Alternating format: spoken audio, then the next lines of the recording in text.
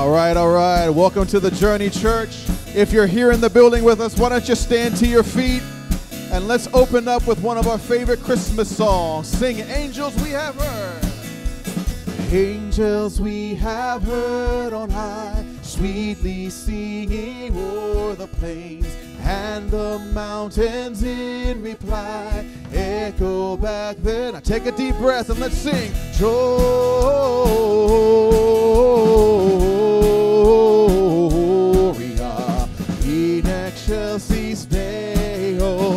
Deo. Gloria in excelsis Deo.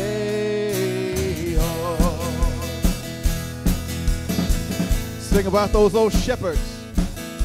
Shepherds, why this jubilee? Why your joyous strains prolong? Say what may the tidings be, which inspire your head. Glory!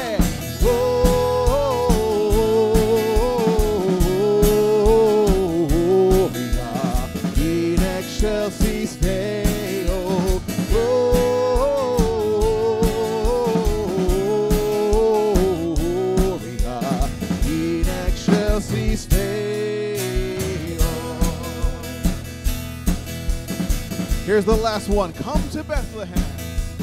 Come to Bethlehem and see him whose birth the angels sing. Come adore on bended knee, Christ the Lord, the new. Come on. Gloria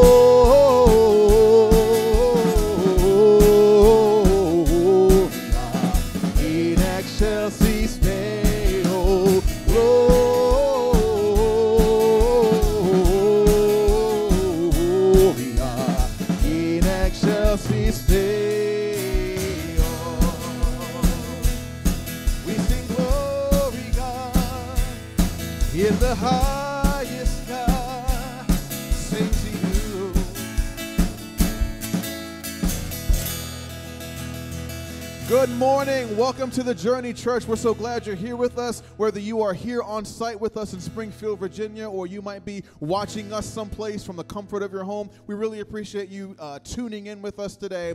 So, uh, raise your virtual or physical hand and tell me what Gloria in excelsis Deo means. Anybody?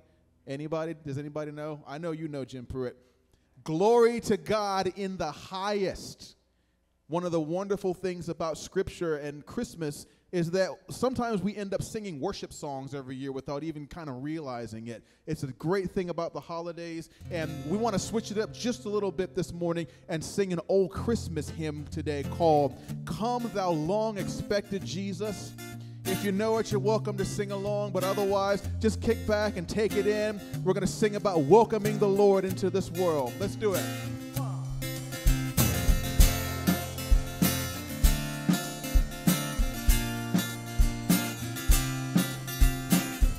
Starting from the top, this is Come Thou Long Expected Jesus. Sounds like this.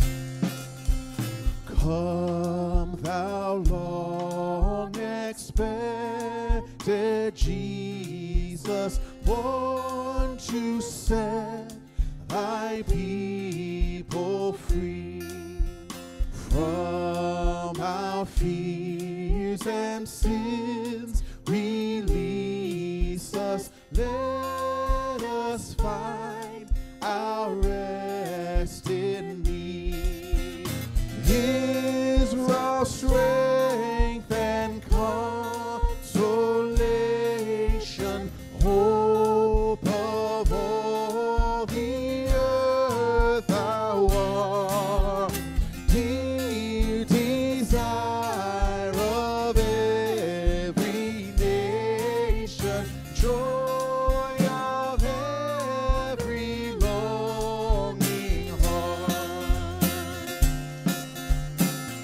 second verse coming at you. Warn thy people to deliver, born a child and yet a king, born to reign in us forever. Thou, Thy gracious King.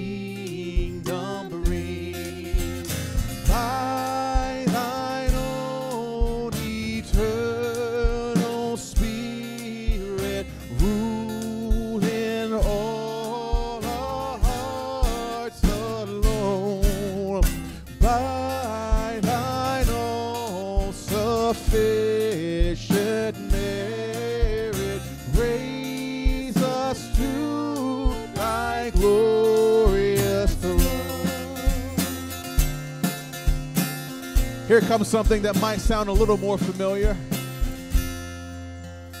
Oh, come, let us adore him. Oh, come, let us adore him. Oh, come, let us adore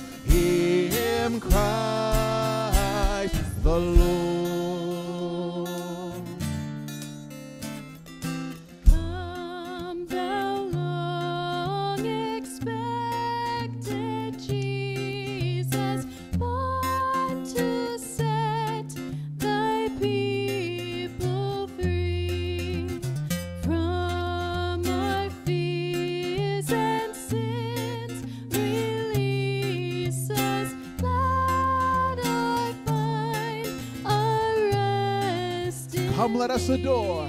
Oh, come, let us adore him. Oh, come, let us adore him. Oh,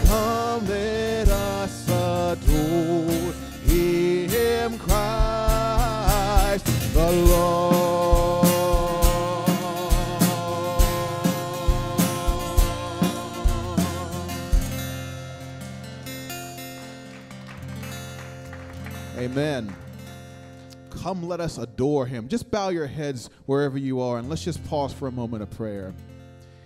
Father, those words, from our fears and sins, release us. Let us find our rest in thee. God, the holidays can be so stressful, especially with everything that has been going on in our country and in our world.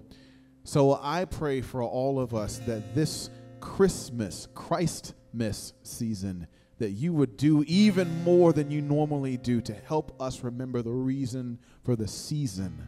I'm sure Santa Claus was a great person, but Santa didn't die for me and my sin and my mess and my problems.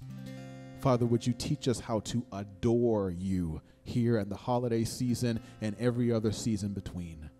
We love you, we appreciate you, and we're just reaching for more of you today. Help us out, Lord. We pray all these things in Jesus' name, and all of God's people said, Amen. You guys can be seated. Amen. Good morning, everybody.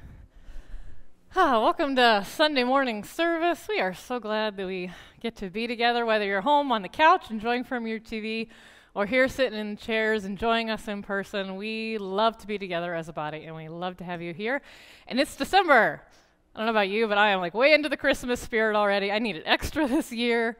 Uh, there's a lot going on at the Journey for the holidays. So we really want you to stay informed and connected. And the best way to do that is the Journey app. So please download that, get that on your phone so you can know exactly what's going on. You can find out the Sunday program there, announcements, so much more, our connection card.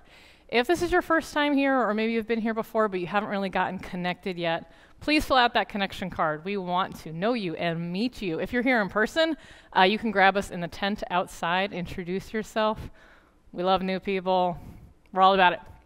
Speaking of Christmas time, you know, here at The Journey, we are very into our community, helping our neighbors in need. And the big way we do that is in partnership with our local food bank, which is Koinonia. You may have noticed if you're here that there are Christmas trees in the back in the lobby, and they've got ornaments on them. If you look closely, those ornaments have Christmas wishes on them. We are collecting donated toys to give to Koinonia for Christmas to help the families that they serve. The fun new thing this year is if you are at home online, we want you to participate too. We set up an Amazon gift registry of toys, so you can still purchase a gift to donate, and it will actually ship directly to Koinonia. So jump on that. We're very excited about ways we're changing it up and getting creative this year. Uh, you can find out all that information on the church website at the Love Nova tab. And speaking of Love Nova, I want to take a moment and just say thank you to everybody who has been donating to that fund over the past couple months. We have been able to give out hundreds of dollars in groceries and grocery gift cards. I have the best job because anytime I get a phone call where someone we love calls and is in need, nine out of ten times I get to instantly answer, yes, we can help with that. Uh, that's the best, and that is because of you guys and your generosity. So I just have to pause and say thank you. I got one more announcement. We have another prayer training coming up. Prayer is so important and so needed right now. Uh, there'll be another training on Saturday, the 12th, here um, in the building, but also live streamed. Uh, come, get a chance to learn about prayer, to practice prayer. Prayer is so important. If you want prayer this morning, uh, there's going to be prayer team members out in the lobby after service, and there's also prayer team members online. So all you have to do is click that live prayer button next to the chat. Do not hesitate to ask us for prayer. We want to talk, we want to pray and support you. That's it for announcements. I hope you've been enjoying our Messy Christmas series. I know I have. Things feel very messy this year, uh, but it's good. I mean, I loved that sermon last week reminding us that there are so many messy people in the background of Jesus' story, of the Christmas story. And I love that God accepts us in our messiness. So let's get into it.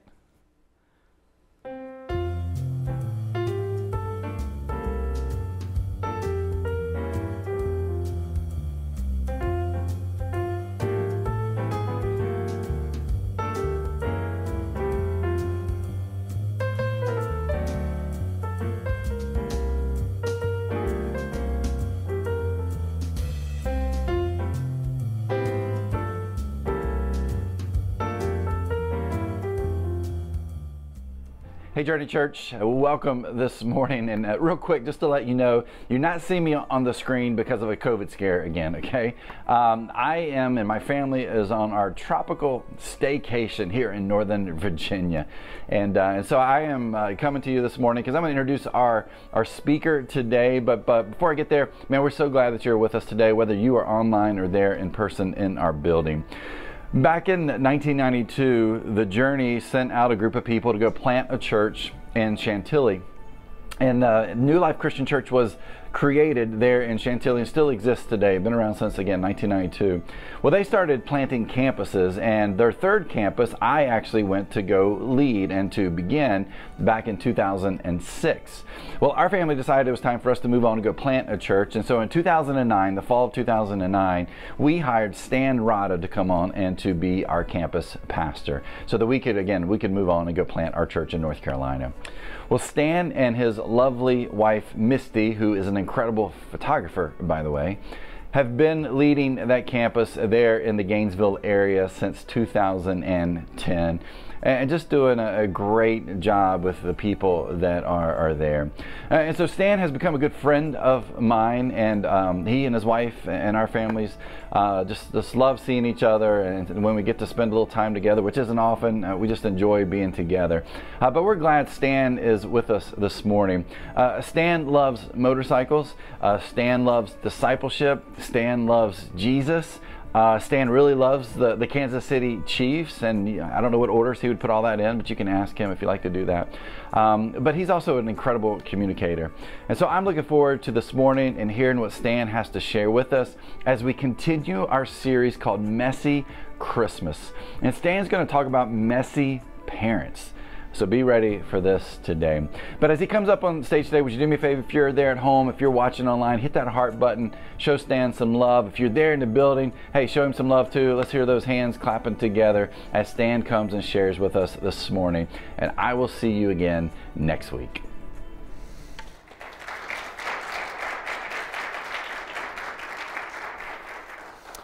Oh, thanks. Um, I wish he wouldn't have you clap before you've even heard me talk. You have no idea if you're actually going to enjoy this or not. But I mean, you've already clapped, so I'm going to I'm gonna take that for what it is.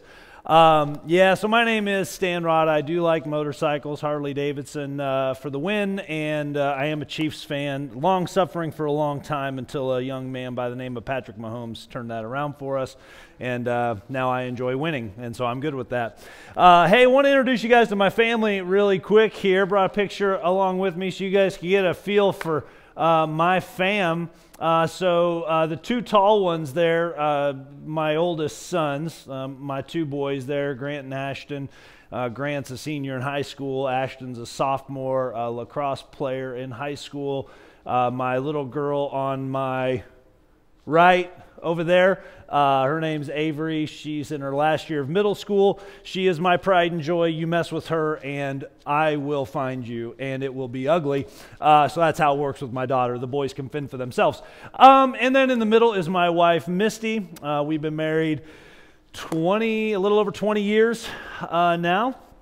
And then um, my golden doodle Gwynny there somehow also finds her way into uh, family photos. I'm not really sure how that how that happens exactly, but the dog dog makes its way into family photos as well. Uh, so Chad asked me to come up and talk a little bit about messy parenting, so I figured why not start with a family photo? Because uh, I was reminiscing on this uh, some time back, actually thinking back through uh, just parenting and situations and stories and things that have come up in my own life. And one of the first ones I remember from very early on, uh, my wife and I had our kids young. We got married young. We started young. And uh, I remember being in the hospital when my wife had our first son, Grant, and uh, the doctors handed me this baby boy. And uh, all the babies I had held to that point, I always gave back. You know, I, I always handed back to someone else who was responsible uh, to take care of that baby. And in this case, we were at the hospital for three or four days or whatever it was uh, after the kind of post birth care stuff. And the hospital was like, no, you have to take the baby with you. And uh, I'm like, you guys do realize I have no idea what I'm doing, right? Like, I feel like a baby still myself. I think I was 20, 21. Like, I was young when he was born. I'm like, I'm a kid myself. I don't know what I'm doing. Is there a manual? Like, do you guys have a book of instructions that come along with this? Because I don't know what I'm doing. And what was crazy was uh, how quickly my oldest son kind of became my buddy. Uh, my wife said I called him Buddy so much she was going to think that was his name. That never did happen, but he was my buddy.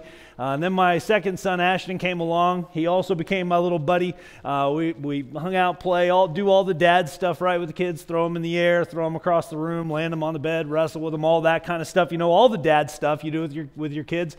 Uh, and then uh, my daughter was a bit of a surprise for us. We thought we were done at two, and uh, we have this little surprise baby uh, who showed up uh, some 13 years ago uh, and kind of rounded out the family at that point. But parenting along the way over the course of the last 18, 19 years has been so messy. How many of you in the room are parents, uh, grandparents? How many of you have done the parenting journey thing? Anybody? Some of you, okay? Some of you aren't raising your hands, and I can tell you have kids. That means you're Baptists, and you're, you're a good Baptist for not raising your hand in church, but we're going to count you in. Uh, we're going to count you in the vote. Uh, but some of you, you know, you've done the parenting thing, and it's messy, right? Especially once you have more than one. Uh, so when I went from two to three, I talk a lot about going from man to man defense, going to zone defense when you're outnumbered. So you go from two to three, now it's zone defense. If you go from like three to four or five, you're just in prevent defense, praying for the best. You know, you're just hoping to survive the day kind of a thing once you end up with those kinds of numbers. But what's really messy about it is you do not get one kid who is the exact same as the other, right? You have two kids and you have no idea how two so different people came from the same people. How did you guys end up so far apart? One of my kids um, trusts everything I say. I could just flat out lie right to their face. And they're like, yep, that's gospel truth. Whatever it is he just said, that's the truth. Like, that's how one of my kids reacts. And then I've got one kid that reacts like, who are you? And why are you offering me advice? Oh, just because you have experience in life, you get to tell me what to, I don't think so. But like, I mean, they're just complete. How did two completely different people come from the same parents? And so parenting is messy because you don't know. You're always changing all the time, and no kid is parented the same way twice. It's just constant craziness when it comes to parenting. Parenting has always been messy. This isn't new to us. This isn't new to American culture. It was messy all through human history, and it was really messy for a young couple some 2,000 years ago. And their story is recorded, part of their story is recorded in the book of Matthew, chapter 1. And so today we're talking about messy parenting and what we learned from a young couple 2,000 years ago about what it looks like to lead well, to parent well, to come together well uh, in a messy season. So before we dive into Scripture, we're going to pause, we're going to have a word of prayer together, um, and just ask God to lead us in our time. Father, we pause. We thank you so much for your son Jesus. God, we ask you to be with us as we as we just spend a few minutes together in your word. Uh, God, I ask you would speak to each person who's in this room, who's uh, worshiping with us online. Uh, Father, I pray that you be with them, that they would hear your voice, and that they would obey whatever it is you ask them to do today. Uh, Father, we love you. It's in your son's name we pray. Amen. All right, so whether it's in parenting or even if you're not a parent, if you hope to be a parent someday, or you're just kind of walking through life, maybe not even thinking about kids, it doesn't really matter because the principles we talk about today are going to apply to you. So no matter where you're at in the season of life, this is a message you're going to want to hear. The very first thing we learn in Matthew chapter 1 when it comes to this idea is that we need to expect the messy. Starting around verse 18, you just get this concept that, like, things are not the way they expected them to be whatsoever. Just expect it to be messy. Have you ever noticed how the best parents are people who aren't parents yet? Have you ever noticed that? Like, um, so you're, you're a parent and you're in Target and your kid's throwing a temper tantrum because they can't get something, and you like, you're the mom carrying your kid out of the store under your arm, you know. And the person who isn't a parent yet is always the one to look at you and judge you and to say things like, I would never do that to my I will never take my kids to a McDonald's drive-through organic, non GMO only. You know, like the, the people who don't have kids are the ones who are the ones kind of make it. I will be the, I will never give in to the tantrum. I will never raise a Dallas Cowboys fan, you know? And then somehow you end up with a Chad Simpkins and it just gets off the rails and you're like, how did I end up here in this mess with a Cowboys fan? Like when it comes to parenting, you have to expect for things to get messy. Matthew chapter 1, starting verse 18. The birth of Jesus Christ came about this way. After his mother Mary had been engaged to Joseph, it was discovered before they came together that she was pregnant from the Holy Spirit. So her husband, Joseph, being a righteous man, not wanting to disgrace her publicly, decided to divorce her secretly. Now, in Mary and Joseph's culture, especially, this is not a good start to their marriage. It is not a good start to their parenting, even more so than in our own society. Their expectation was that they would go through the engagement, betrothal period of time. They would go through that together. They would be married. Uh, they would move in together at that point, begin living together. But not only, they would not be independent like we think of it. Um, when a couple in our day gets married, they move out and they go and they live an independent life in Mary and Joseph's culture, what they were most likely going to do was get married and then move back in with mom and dad and the rest of the family, Joseph's family, until they were financially stable, until Joseph had his career underway, until Joseph had financial things in order, plans in order, things in place, and then they would eventually move out and continue their life together. Very different concept from kind of how we approach things today. But before they get anywhere near any of that, before they've said their vows, before they've come together physically, before anything has happened in this entire relationship, Mary becomes pregnant, and it's a complete shock. Like it, it, would have thrown the family, the news would have been bad, people in town would have talked. I mean, it would have just been complete chaos.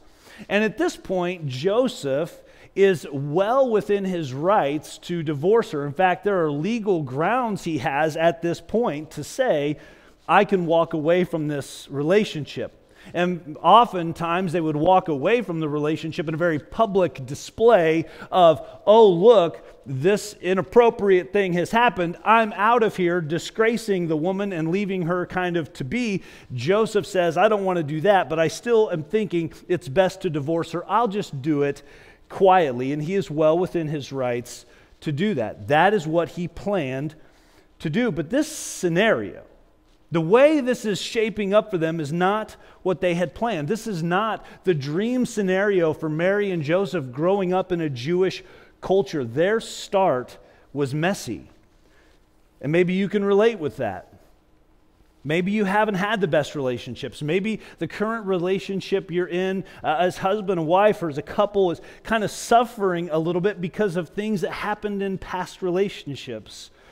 Um, maybe in the messiness, you've had kids in parenting in over the course of years. Maybe you've had kids walk away from the faith, and you've spent years praying that they would come back to, to faith. Maybe you're uh, living in a place of regret because of decisions made that somehow made the mess worse for you. Maybe you're parenting kids who don't respect you, and it just makes life difficult. I just want to encourage you. Can I, can I, encourage you with something? This is, uh, for what it's worth, this encouragement is easier said than done, but it, it is good encouragement. I want to encourage you, parents, in the messy situation, I want to encourage you to give thanks. First Thessalonians chapter 5 and verse 18, be thankful in all circumstances, not be thankful when your parenting works out the way you thought it should have worked out. Not only be thankful when your kids are respectful, be thankful when your kids obey, be thankful when the college chooses them, be thankful when your portfolio is good, be thankful when life is great, be thankful when you get the promotion. No, no, no. Be thankful in the mess, be thankful when it's chaotic, be thankful when you can't get your fingers around it, be thankful in all circumstances.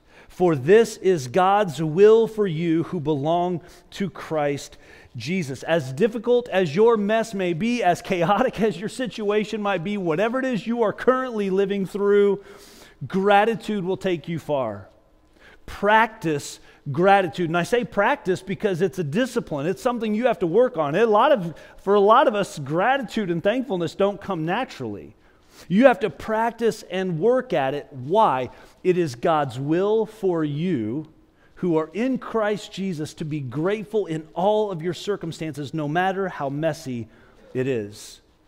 If you're here today and you're hopeful to be a parent someday, to be a mom, a dad someday, expect it to be messy. You can read all the parenting books you want, and I, I would be willing to put a lot of money down on a bet that says your kid will find a way to write a new chapter in a book you haven't read yet. Like your kid will be the one when you think you've got it all down, your kid will be the one that writes this whole other chapter or her whole other chapter where you just go, What is happening? Parents, hopeful parents, expect messy. Expect it to be messy. It's just how it goes. So expect the mess, but amidst the mess, while you're in it, while you're in the chaos, when things aren't going the way you think they should, trust that God has a plan. Watch what happens next for Joseph, verse 20. But after he had considered these things, an angel of the Lord appeared to him in a dream, saying, Joseph, son of David, don't be afraid to take Mary as your wife, because what has been conceived in her is from the Holy Spirit. She will give birth to a son. You're to name him Jesus because he will save his people from their sins. Now, all this took place to fulfill what was spoken by the Lord through the prophet. See, the virgin will become pregnant and give birth to a son. They will name him Immanuel, which is translated God with us. Now, like many people in the Bible, uh, people of faith throughout all of Scripture, throughout all of uh, Christian history, sometimes it's difficult to see the plan that God is developing.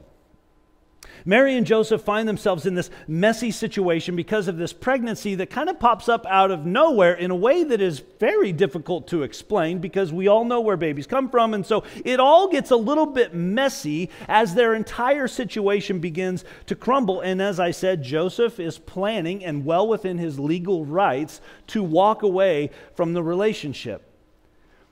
However, if Mary and Joseph had chosen to view their mess only through human lens, the human perspective, from our angle and vantage point, they would have missed what God was up to in their life.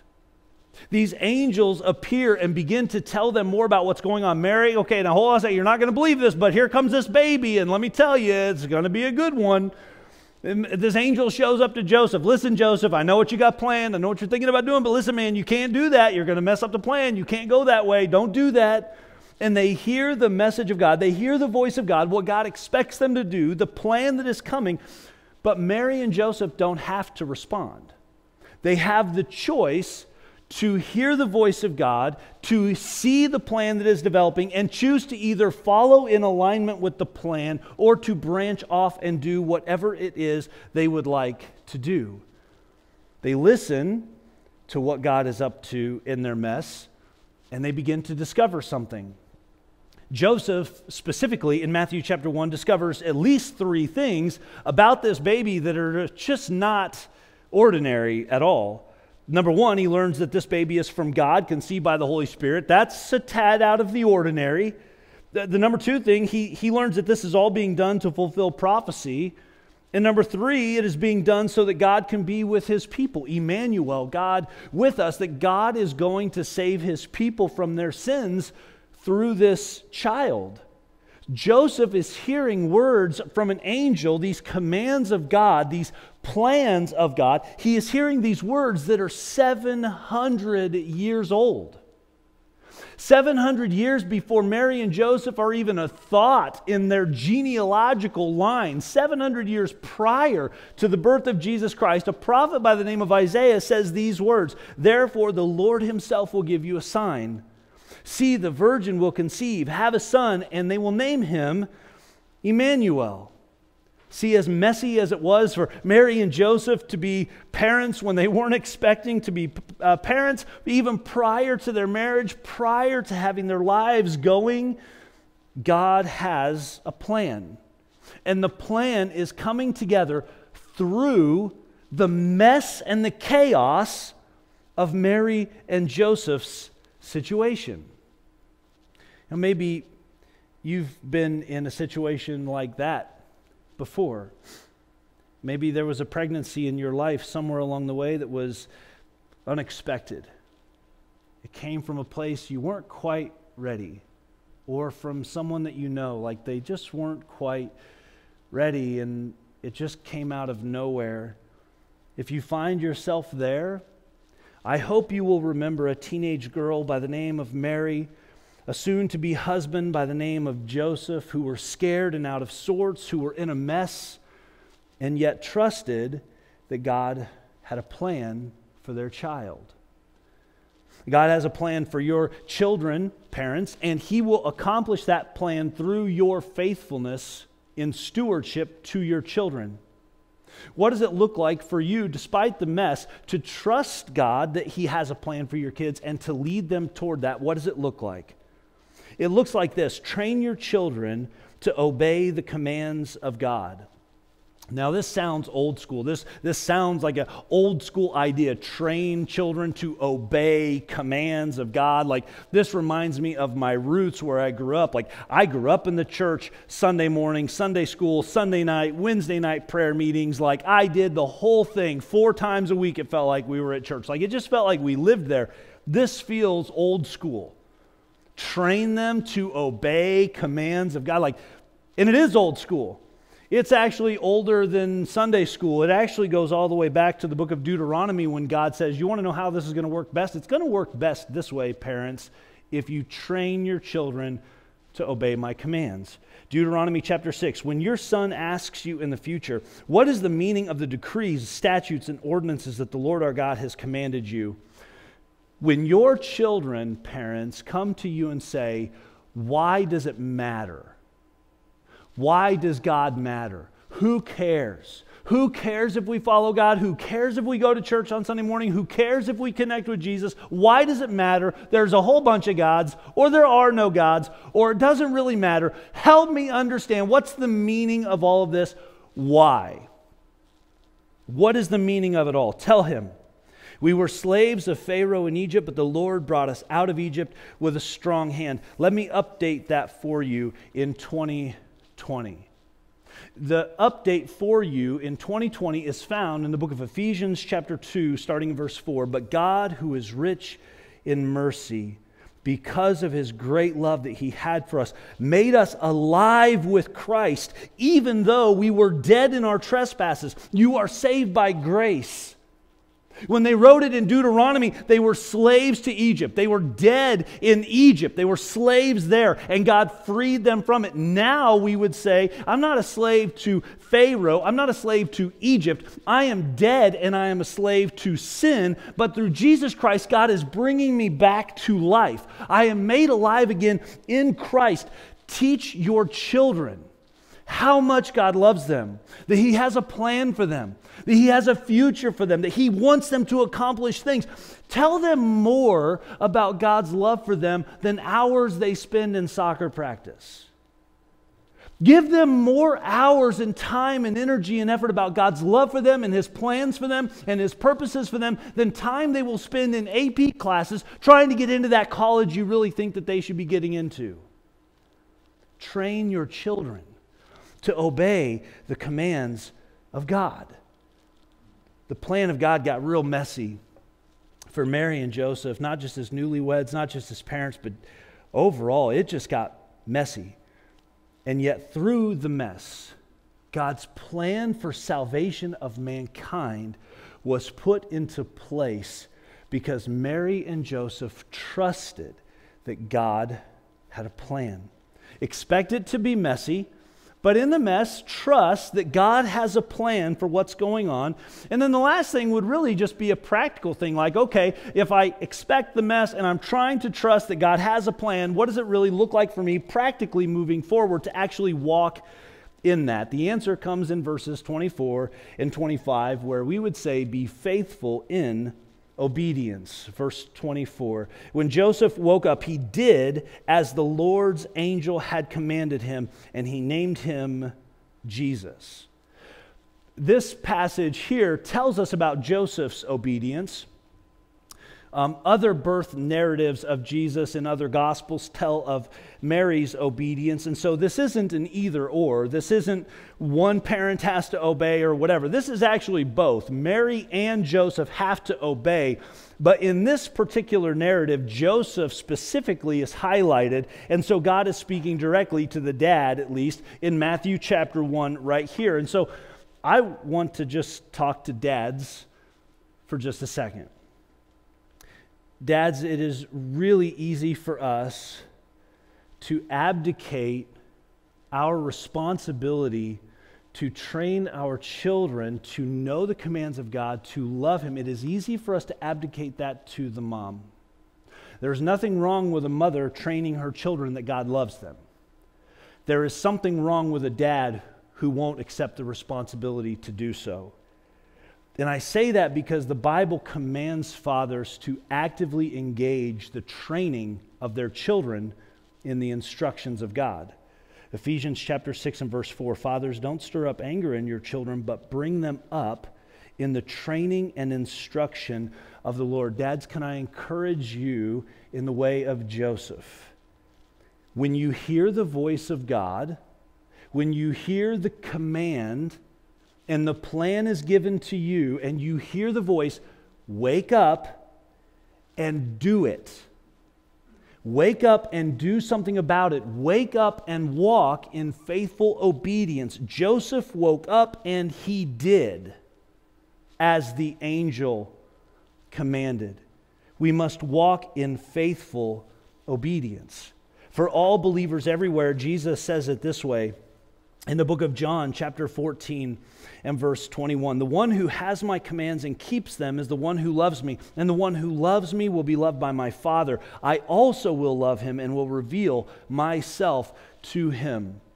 Have you ever been walking through faith, maybe it, uh, as a parent or just in general in life? You've been walking through faith, and have you ever had that feeling that you couldn't quite get to Jesus? That there was something in the way, that there was something blocking you, that there was a spiritual blockage that was happening, and somehow you couldn't quite get your hands around Jesus. Jesus says here that he will reveal himself to the ones who are obeying, who are keeping his commands. Mom, dad, teach your children, train them, be faithful in obedience. So let me ask you a really simple question with probably a difficult answer. Okay? Simple question, difficult answer. When was the last time God asked you to do something and you didn't do it? When was the last time it was so clear to you that God was saying, Go and do, go do this, be here, step up in this way, and you just flat were like, Nope, ain't nobody got time for that. Like, I'm not doing that. I'm not going to obey. I'm not taking the step forward. When was the last time God asked you to do something and you didn't obey? That question assumes a lot about us, doesn't it? It assumes, the question itself assumes of us that we are actually able to hear God's voice in the first place. It assumes that God wants to speak to you as a follower of Jesus, as a disciple of Christ. The question assumes that God is trying to get a message through to you, right? So the question for me then becomes is it possible to hear the voice of God? Is it possible to hear what God is up to, to hear his plans, and to walk in faithful obedience? Is that possible? Jesus says in John chapter 15, I am the vine, you are the branches. The one who remains in me and I in him produces much fruit, because you can do nothing without me.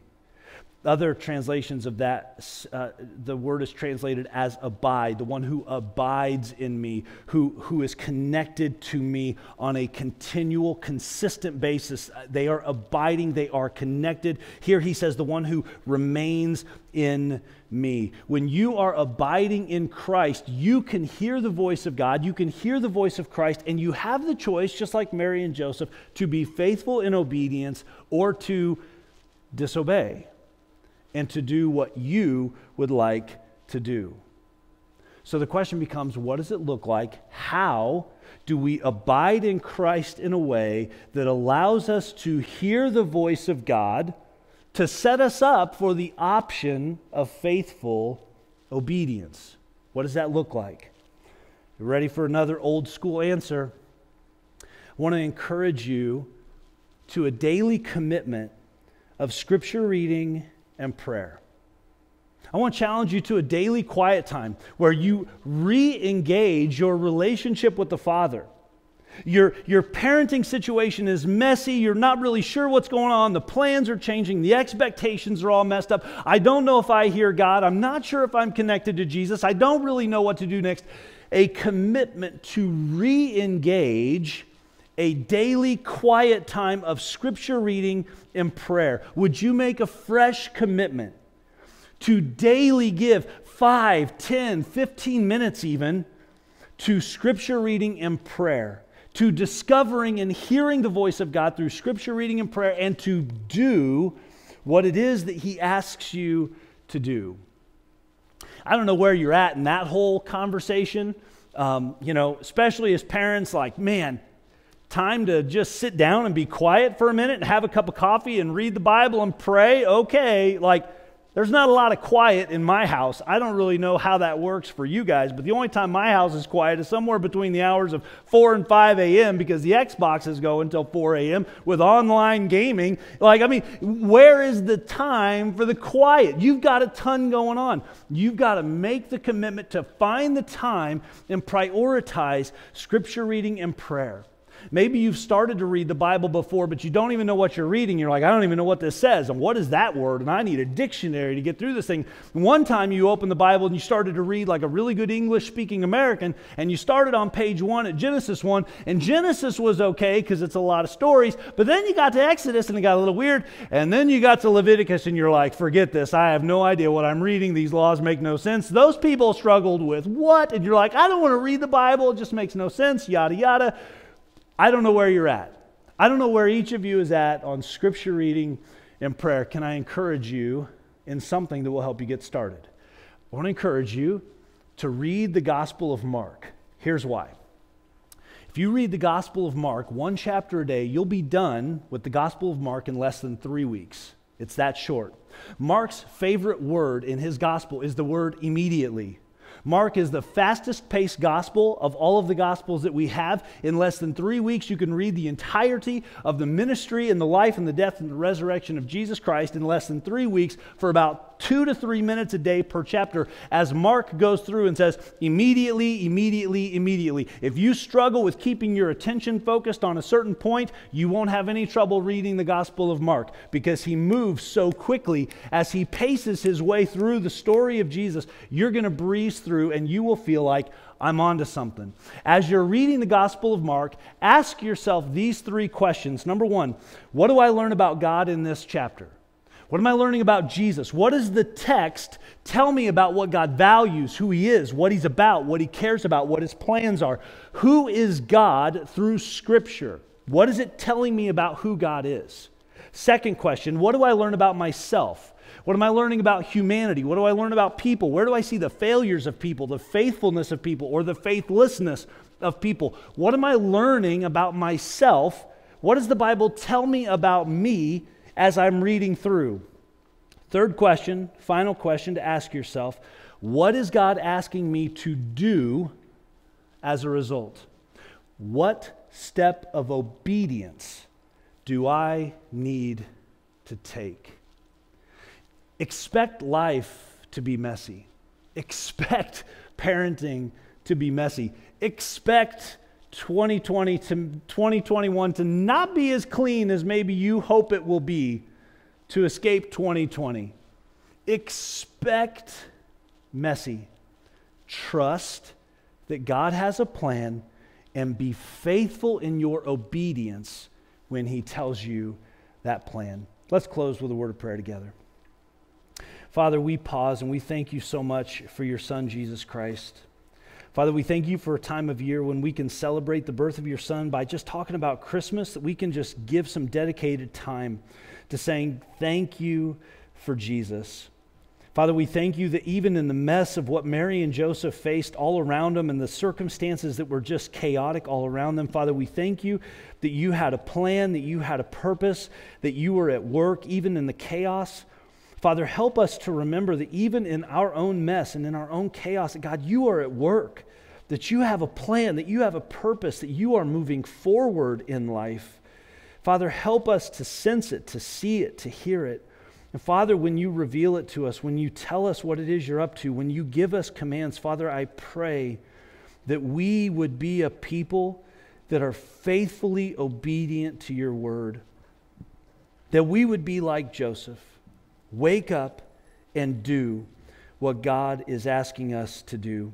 Father, we love you so much. We thank you for your son Jesus. We thank you that you are saving us, redeeming us, reconciling us through him.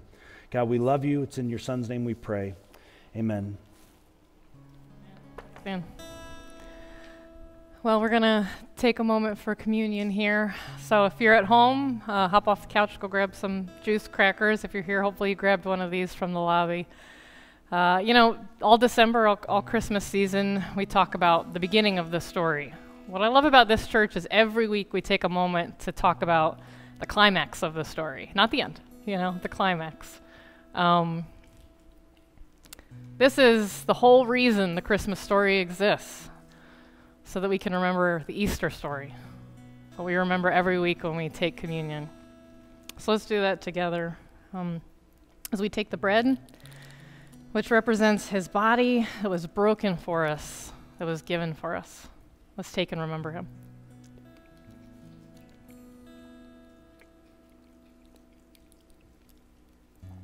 And then we do the juice, which reminds us of his blood, which was poured out for the forgiveness of our sins. Let's take this and remember.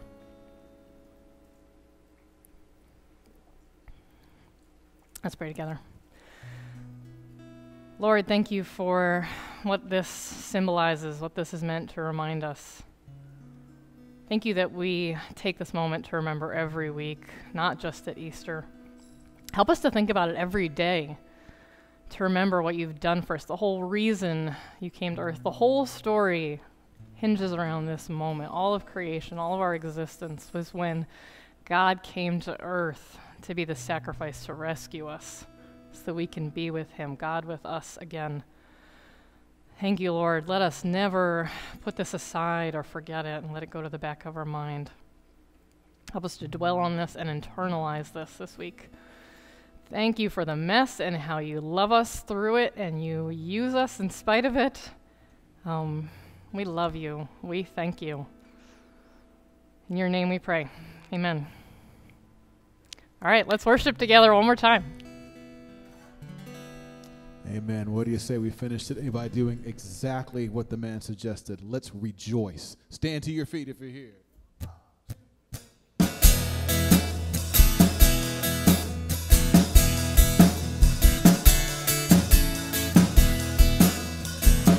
Let's bless the Lord together today. Come and bless. Come bless the Lord, come bless the Lord. Draw near to worship Christ the Lord and bless his name, his holy name, declaring he is good. Oh, that we would praise him. Oh, that we would praise him. Rejoice in the Lord always. And again I say, again I say, rejoice the Lord always. And again I say, again I say, rejoice. From the top, come bless. Come bless the Lord, come bless the Lord. Draw near to worship Christ the Lord and bless his name, his holy name, declaring he is good. Oh, that we would praise him. Oh, that we would praise him. Rejoice in the Lord always. And again I say, again I say, rejoice in the Lord always. And again I say, again I say, rejoice in the Lord always. And again I say, again I say, rejoice in the Lord always. And again I say, again I say, rejoice. Yeah, yeah. And we can rejoice in the fact that the God of the universe calls us his friends. You are God Almighty, Lord of glory. You have called me friend. Just sing that today. God Almighty, Lord of glory.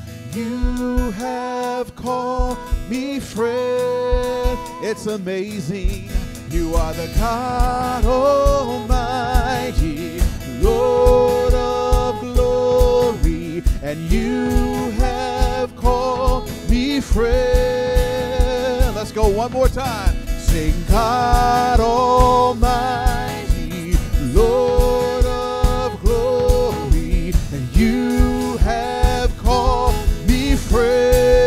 So let's rejoice in it. Rejoice in the Lord always. And again I say, again I say, rejoice in the Lord always. And again I say, again I say, rejoice in the Lord always. And again I say, again I say, rejoice in the Lord always. And again I say, again I say, rejoice. Let's rejoice,